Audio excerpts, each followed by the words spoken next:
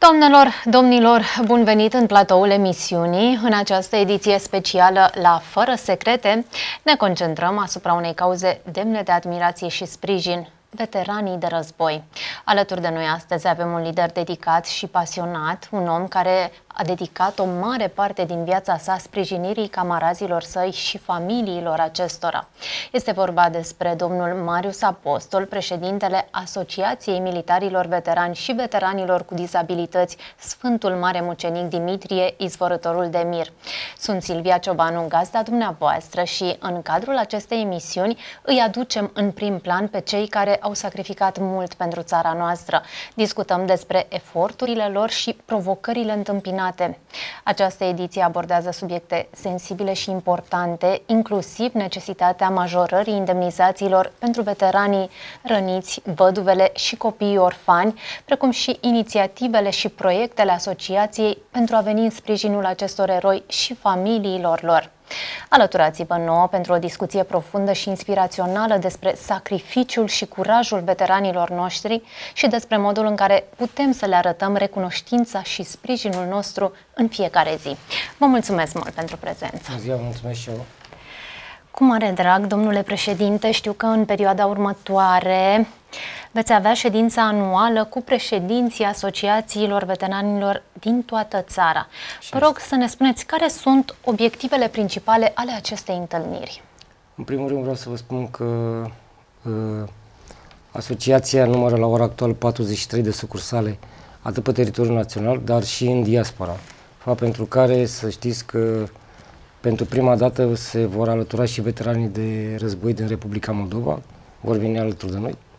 Iar pe ordinea de zi, uh, la pensiunea noastră, la pensiunea Clubului Veteranilor al Asociației, va fi această dezbatere uh, ce ne frământă de vreo trei ani de zile, în primul rând, indemnizația de veteran. Iată că au trecut trei ani de zile de la legea 168 din 2020 și până, nici până la această oră guvernul n-a găsit nicio cale de a majora indemnizațiile atât la veteranii din teatrul operații, cât și la militarii răniți, văduve sau copiii orfani. Noi am făcut uh, în nenumerate uh, rânduri, am avut și discuții cu, cu șeful cancelariei, mi s-a promis că, că uh, totuși vor intra pe ordinea de zi, mi s-a dat și niște drafturi, am, am pe cât posibil noi am încercat să avem discuții și cu alte ministere de resort. Din păcate, vreau să vă spun că uh, Ministerul Apărării, ceea ce nu ne așteptam absolut deloc, Ministerul Apărării a dat, uh, mă refer domnul secretar de stat Bachide, secretarul de stat al Ministerului Apărării, uh, a dat aviz negativ, ceea ce nu am înțeles de ce să dea motiv Având în vedere că, bine, bineînțeles, ce motivează? Bine... Care sunt motivele întârzierii în vederea majorării indemnizațiilor? Nu am citit foarte, uh, n-am avut documentul la mine ca să văd foarte bine, dar am înțeles că nu sunt alocate fondurile pentru majorarea uh, indemnizațiilor. Păi vreau să-i reamintesc, domnule secretar de stat, poate, poate nu știe dumnealui, dar uh, uh, bani la buget pentru alocare bugetare a indemnizațiilor de veteran există. Există în 2020. Uh, acum, dumnealui, ce nu vrea să înțeleagă este că această sumă de 1000 de lei neactualizată duce mâine, poimine la, o, la un kilogram de portocale. Iar oamenii ăștia nu au nevoie de așa ceva. Uh, mai ales că sacrificiul nostru a fost de 30 de ani în tătele de operații. Și sângele nostru a curs acolo. Acum ce facem? Așteptăm mila de la domnul secretar de stat? Vreau să vă spun că, după cum ne știți, n-am abandonat această luptă. Am, am mers la domnul, la ministrul finanțelor, la domnul ministru Boloș. Dumnealui, da, consideră că este imperios necesar alocare bugetare pentru mărirea indemnizației și uh, vreau să vă spun că în următoarea ședință de guvern sper ca premierul să ia o decizie foarte clară și să susțină punctele noastre de vedere uh, cu privire la alocare bugetară pentru mărirea indemnizației. Concret, cum, cum afectează această întârziere, că vorbim totuși de trei ani, veteranii care se confruntă, iată, cu răni din cauza războiului, văduvele care depind poate de aceste indemnizații? Exact, doamnă uh, Silvia. La ora actuală eu am, mă refer la mine, eu aloc pe lună în jur de 2000 de lei pentru medicamente. Medicamente care nu sunt compensate de Ministerul Sănătății. Dacă acum 3 ani a, a, alocam un buget de 1000-1200, prin învăluirea scumpirilor care le vedem și noi și le simțim, și la energie și la absolut tot, iată că am ajuns acum, numai pentru calmantele mele, uh, am ajuns undeva la 1000-1200 de lei, în afară de celelalte medicamente ce le am compensatorii, deci undeva la 2000-2200 în fiecare lună. Pe lângă traiul Pe de lângă zi cu zi. De, de zi cu zi. Nu ne plângem, e ok, dar vreau să uh, vă spun încă o dată, uh, la un moment dat nu mai ai cușul, nu mai ai de unde să scoți din cuș, iar fără medicamente nu poți să trăiești, uh, pentru că uh, durerile sunt atât de mari încât, uh, uh, cum să spun, nu, nu se poate amânare. Așa se întâmplă și pentru văduve. Gândiți-vă că o văduvă la ora actuală trăiește cu o indemnizație de acum 5 ani. Sau un copil orfan. Păi nu mai, vă dați seama, neactualizată, rând, coșul zilnic să-i uh, sprijin pe acești copii sau pe aceste văduve nu mai există. El s-a diminuat din an în an. Pentru că, uh, eu am mai spus, trebuie să se înțeleagă un lucru. Uh, noi ne-am făcut datoria și ne facem oricând datoria. Să nu credeți că veteranii sunt așa, uh, uh, au fugit și au fug sau nu. Veteranii sunt aici, în țară. Și uh, vreau să vă spun, dacă țara are nevoie, noi vom merge la luptă. Și atunci e normal ca și noi, la rândul nostru, să ne cerem un minim de drept. Un minim pentru sacrificiul care l-am făcut noi. Una era acum, uh, acum aproape 4 ani 1000 de lei și una e acum o actualizare de 1000 de lei, ce semna? Cât efort bugetar putea să facă Ministerul Apărării, având în vedere că, că s-a alocat 2,5 din PIB-ul României? Nu, nu a spus nimeni, nu spune nimeni că sunt foarte multe probleme cu privire la alocarea pentru soldele militare în activitate. Iată că ați văzut și săptămâna trecută, guvernul a aprobat pentru soldele militare, mărirea soldelor militarilor, a aprobat pentru mărirea soldelor polițiștilor, jandarmilor. Este un lucru foarte bun pentru că uh, numai când te gândești un tank costă milioane și milioane de euro și soldatul avea un salariu de do- o soldă de 2200 de lei. Nu se poate așa ceva. Păi ne uităm și noi în viața civilă. O, pentru o basculantă, un șofer de basculantă într-o firmă câștigă aproape 10.000 de lei. Iar ăsta pe un tank câștigă 2200 de lei și atunci... Ce motivație ne, exact, să ce mai motivație aibă? să-l aduci tu în Ministerul Apărării? Că totul trece prin stomac. Vorba unui proverb românesc. Tot e prin stomac. Și ăla, la rândul lui militarul, are și el copii, familie, are de plătit atâtea lucruri. Și Atunci riscul e, până și la urmă la și care riscul, se Nu mai punem riscul, că riscul e destul de mare, vă dați seama.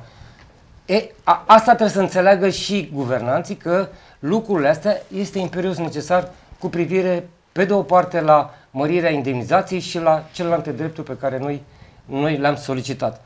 Am mai solicitat și scutirea la plata impozitul uh, auto pentru, o singură, pentru un singur autoturism. Eu cred că am fost uh, destul de decenți, nu am solicitat mai multe lucruri, două lucruri am solicitat și sper că lucrurile se vor așeza și vor sta la masa tratativelor și domnul secretar de stat Bachide să eu cred că se va așeza frumos împreună cu domnul ministru al apărării și să înțeleagă că militarii, au ne- militarii în rezervă și cei în activitate au nevoie de acest sprijin financiar. Și este până la urmă un drept al lor. Și este un drept al nostru. Câștigat pe, pe știi foarte bine că în luptă a fost câștigat acest drept, nu în altă parte. Putem să... Întotdeauna armata română și militarii armate române au plătit un cec. Un cec în alb. Ăsta se cheamă viață. Întotdeauna. Și în primul război și în al doilea război mondial. Acum și în teatrele de operații, la fel. Să sting, vedem bine să sting veteranii de război. Următorii suntem noi. Și vreau să vă spun cu durere în suflet, uh, când mă sună colegii din țară, parcă primul lucru întreb, a mai murit frunul? Deci sunt cimitirele pline, e în premieră ce spun, cimitirele pline de morți veterani din ziua de astăzi. Sunt pline. Mor pe capete. Nu mă întrebați, că nu știu de ce, cum și în ce fel, dar la 47 de ani, 48, 50, 52, n-apucă prea mult, nici măcar 55 de ani. Ce pensie să mănânce? Că tot vorbeam de pensii. Că ne-au băgat în categoria pensiilor speciale pe militar, da? Vreau să întreb și eu, ce pensie specială să câștige? Că mai mult de 2-3 ani nu mai are timp să mănânce. Păi dacă ai 3-4 misiuni... Așa cum spuneți dumneavoastră, medicamentele și tot ceea exact. ce ține de sănătate nu sunt compensate și trebuie să plătiți. Exact. Uh, de aceea... Foarte am, greu. Uh, eu mă bucur să știți că și sunt mândru că mulți politicieni, uh, cum să vă spun eu, au prins frica de mine pe chestia asta, pentru că am luptat de 10 ani, că am făcut 10 ani anul trecut, 10 ani de la înființarea asociației. Dar să știți că toate drepturile astea le-am luat la rând, că așa mi le-a dat Dumnezeu să mă lupt cu ele și împreună cu colegii mei să reușim aici. Ceea ce în alte țări este normal nu se întâmplă să vă luptați. Ăsta. Da, nu se întâmplă. voiam să vă întreb uh, ceva mai devreme dacă se compară cumva nivelul indemnizațiilor acordate veteranilor în țara noastră cu cel al altor nu. țări? Nu. Dar suntem undeva între ele, să zicem așa, undeva între ele, undeva mai spre subsolul clansamentului, ca să nu zic Nu altceva. chiar în subsol. Da, nu chiar în subsol. Dar, Bine, cum să vă spun eu, acum, da. este uh, foarte important să se înțeleagă că două lucruri dorim. Și uh, știm bine că anul ăsta sunt și alegeri. Iar noi suntem o masă foarte mare, veterani, împreună cu familiile. Dar trebuie să înțeleagă că avem două aspecte. Unu, indemnizațiile, al doilea, acest centru de recuperare care ne tot ne zbatem cu el. Uh, de atâtea ori am spus, domne, uh, nu există în România. Haideți împreună să facem ceva, haideți să facem... Nu ne lăsa pe noi pe asociație, că nu suntem atât de o forță atât de mare încât să reușim să facem lucrul ăsta. Nu avem fondurile necesare să reușim. Haideți împreună. În sfârșit, și aici vin iarăși în premieră la dumneavoastră, în sfârșit, S-a găsit soluția, adică Agenția Națională a Persoanelor cu Handicap, cei care și-au asumat lucrul ăsta împreună cu Ministerul Sănătății, să finalizeze procedurile de a declanșa pentru acest centru de recuperare.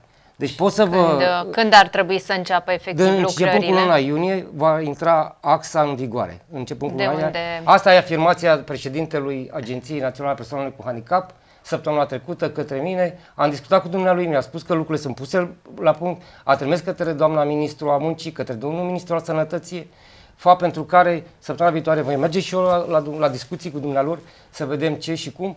Poate dă Dumnezeu și primăria Târgoviște, uh, mă gândesc, poate și domnul primar Stan, uh, vine alături de noi, poate să concentrează mai multe instituții, pentru că până la urmă nu numai veteranii beneficiază acolo, beneficiază toată lumea acolo. Și e păcat Dar de fondurile proiect, de unde provin pentru construirea uh, și operarea acestui când, centru? Uh, fondurile uh, sunt uh, pe două categorii. Uh, 20 de milioane de euro este prin fondurile de la Ministerul Fondurilor Europene și Investiții și 20 de milioane de euro de la bugetul de stat.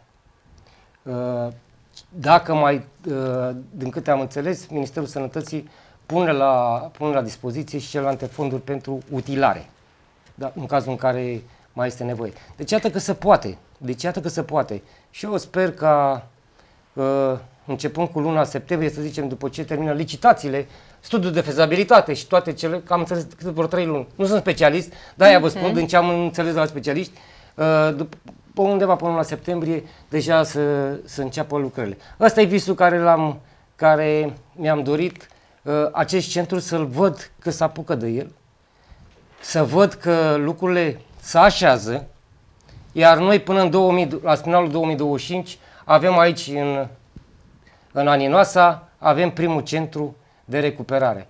Știți de, cât, de când lupt? Din 2018. Din 2018 lupt pentru acest centru. Și foarte mult uh, muncă, uh, niciodată nu cedăm, știți bine, veteranii nu cedează niciodată și este important că s-a găsit soluția optimă ca în al 12-lea ceas să trezească că este imperios necesar să se facă acest centru. Ce tipuri de servicii vor fi disponibile pentru veteranii la acest centru de Sunt recuperare? foarte multe servicii și vreau să vă spun că uh, un lucru foarte important și asta e bine și pentru tot, pentru tot, toți, tot poporul român până la urmă. E vorba de un aparat ce l-am avut și eu în Ramstein, în baza americană, uh, un 6D, e un aparat foarte mare, sunt decât 3 în, în Europa, din câte am înțeles, uh, și face minuni. Chiar face minuni.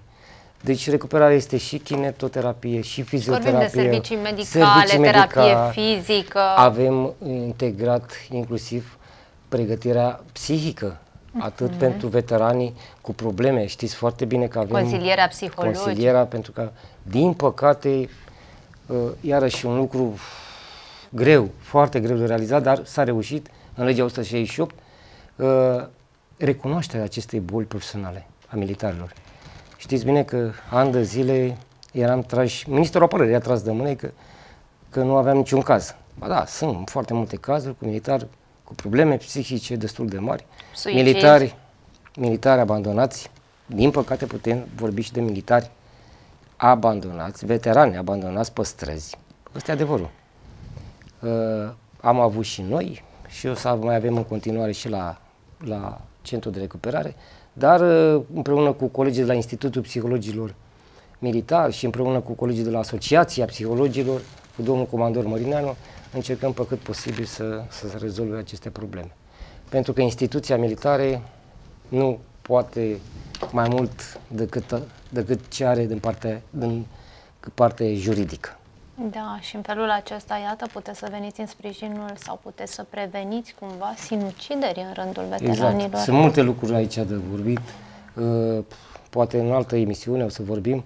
Uh, sunt foarte multe cazuri necunoscute în care, într-adevăr, să, din păcate, mai mulți colegi de-ai noștri s-au sinuciți, mai mulți colegi de-ai noștri s-au, s-au îmbolnăvit pe niște lucruri într-adevăr, trăite de noi acolo e destul de, de greu, vă dați seama, și lucrurile astea, de păcate, noi nu le vorbim. De aceea să strâng, rămân într-o căsuță, problema este căsuța să nu se declanșeze, că atunci e destul de complicat și să ajung la niște lucruri foarte, foarte complicate și rele, și atât pentru, mai ales pentru el, cât și pentru familie, pentru copii.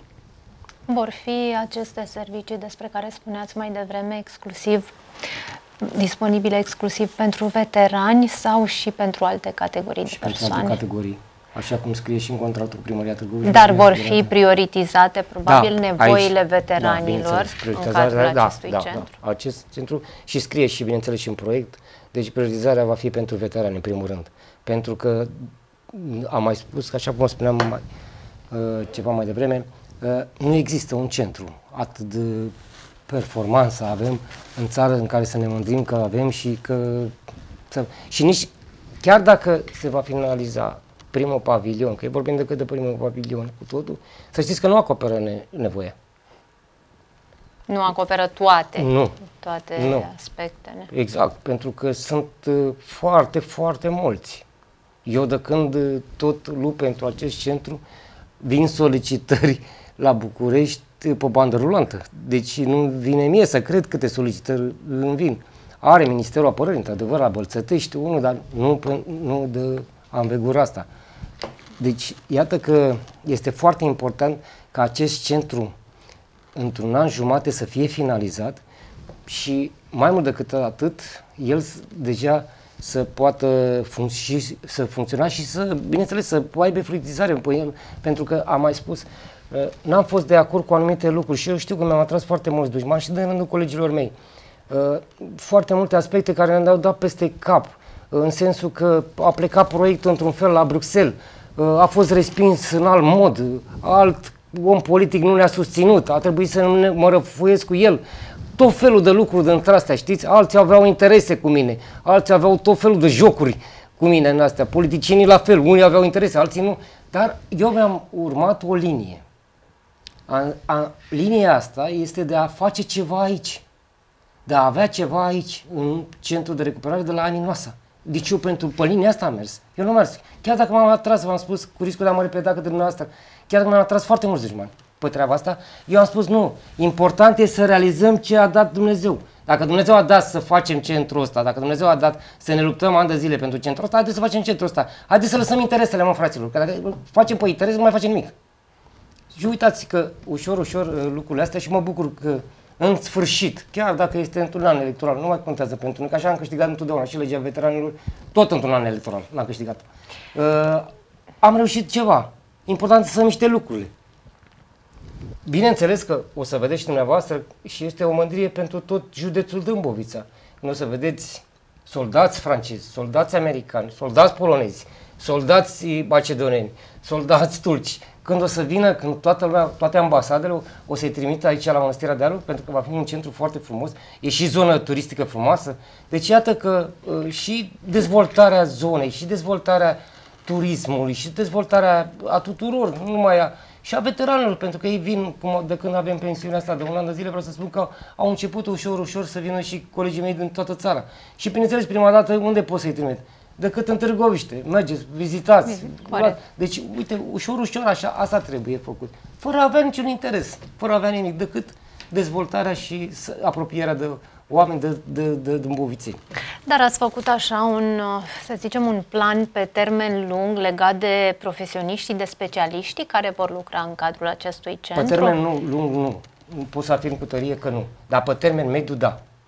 Pentru că Cum noi... vor fi selectați sau pregătiți, iată, pentru a oferi servicii de calitate veteranilor? De Ministerul Sănătății și de Ministerul Apărării Naționale. Aici am adus specialiști, uh, voluntariat, pentru că altfel n-aveam cum. Nu mi-a aprobat nimeni să aduc uh, deocamdată. Și fapt pentru care vreau să vă spun că la ora actuală, dacă mâine s-ar deschide, am avea specialiști foarte buni, uh-huh. medici primari, medici Uh, cu, cu o altă clasă, cu profesionalism, uh, oameni care au trăit și în teatrele de operații. Okay. Deci care știu foarte bine cu, cu lucrurile acestea. Pe de altă parte, medici, psihologi foarte buni, care au fost cu noi în teatrele de operații și ne-au consiliat pe partea mm-hmm. psihologică. Uh, vreau să vă spun cu asistenți, asistenți uh, subofițeri, maestri militari, sanitari, uh, foarte bine pregătiți, știu foarte bine și pentru rănile uh, ușoare, uh, Uh, accentuate sau grave. Știu foarte bine să-și facă treaba. Deci avem pe termen scurt și mediu, suntem, stăm foarte bine aici. Și uh, cu siguranță, uh, domnule, nu veni 100% dintre dumnealor, dar vă spun sincer, 80% tot vin.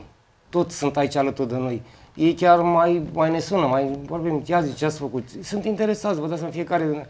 Avem un doctor ortoped, a fost cu, cu noi în Afganistan, Alin Heta, e un doctor foarte bun și este uh, îndrăgit foarte bun de copii, e foarte bun de un ortoped. Iată că ușor, ușor noi am, am, am dezvoltat, să zic, construit, lucru, da. am construit atât de bine încât a, pot să spun cu tărie și uh, fără rezerve că da, sunt, avem și oameni foarte bine pregătiți care de-abia așteaptă să vină.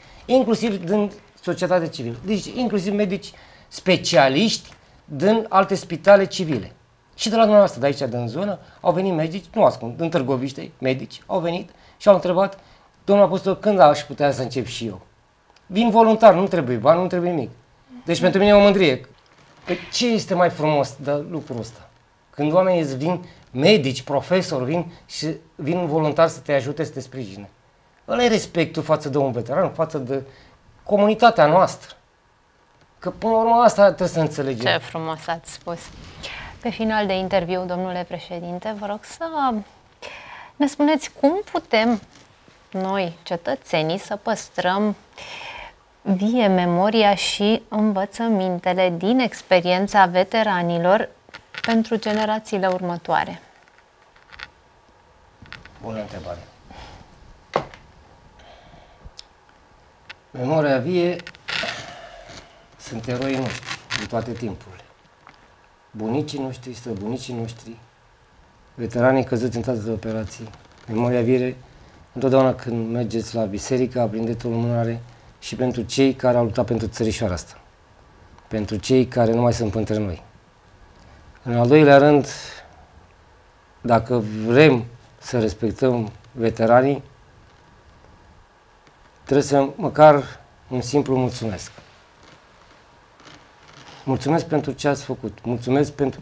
Oricând îl vedeți pe stradă îmbrăcat, spuneți-i mulțumesc. Că mai mult de atât el cred că nu vrea altceva decât acest lucru. Mulțumesc! Întotdeauna și eu am spus și spun în continuare, sacrificiul nostru impune respect. Vă mulțumesc foarte Vă mult mulțumesc și pentru eu. că ați acceptat invitația noastră. Ca de obicei, toată discuția a fost uh, o reală plăcere. Vă mulțumesc, să rămâine. Cu mare drag. Doamnelor, domnilor, vă mulțumim că ați fost alături de noi și vă încurajăm să rămâneți conectați pentru a afla mai multe informații și subiecte interesante. Urmăriți-ne pe pagina noastră de Facebook și abonați-vă la canalul nostru de YouTube pentru a fi mereu la curent cu noutățile și evenimentele prezentate de televiziunea Columna. Pace și iubire vă doresc!